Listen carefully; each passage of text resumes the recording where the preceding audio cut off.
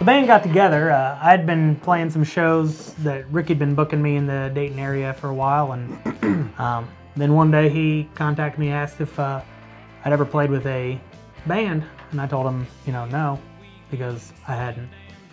And uh, he said that he'd already talked to Brad and Denny, and they wanted to be my backing band. So in essence, he asked me to join my own band.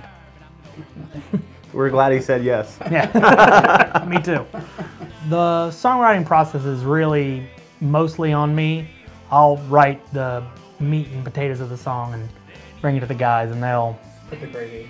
they'll, We'll they'll- put the gravy they'll on put the the gravy on it It's really easy the way Charlie writes songs because uh, I know Denny and Brad and I talk about a lot of times when he brings a song to us, we already know what, what the bass part should be, what the Yeah. drum should be for the song, just with the way he writes it. I think we all play in other bands or play in, uh, you know, a church band or something, and this is way different than a lot of the other bands that we get to play. And it's cool to be able to try out new things and, and new styles.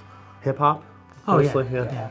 Trap a little bit. yeah. We're really, really invested in the trap thing at this The new point. Billie Eilish uh, album, I think a lot of our EP when we were writing that, it came off. I didn't think we, we didn't Directly mean for it inspired. to, but yeah, it's Yeah. definitely inspired a lot by the new I was thinking. Kesha, but No. yeah. That too, yeah. Yeah. Classic. I don't know who most of these people are.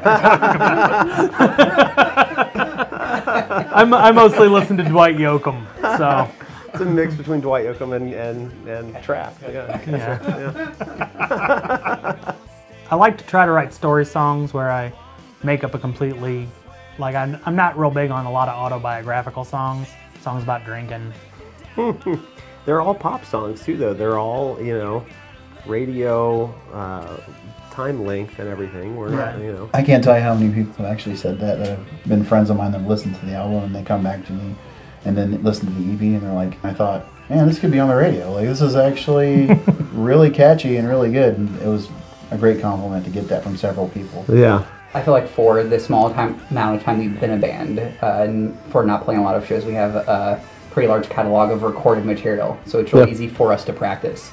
So we know what the parts will be when we come together and practice. So uh, we may not be a band that's able to practice every week, but when we come together, we usually gel back together pretty quick because Charlie will send us the set list. Uh, we'll know the order we're playing the songs in, and just kind of going back and listening to what we recorded. When we play, we mostly just try to have fun with it. I mean, I've never really taken myself all that seriously on stage, so try to drink a little too much and have a good time. It's We're- not always intentional. kind of like a party band for like an older generation. right. That's hilarious. Yeah. We're your we're your uncle's favorite band.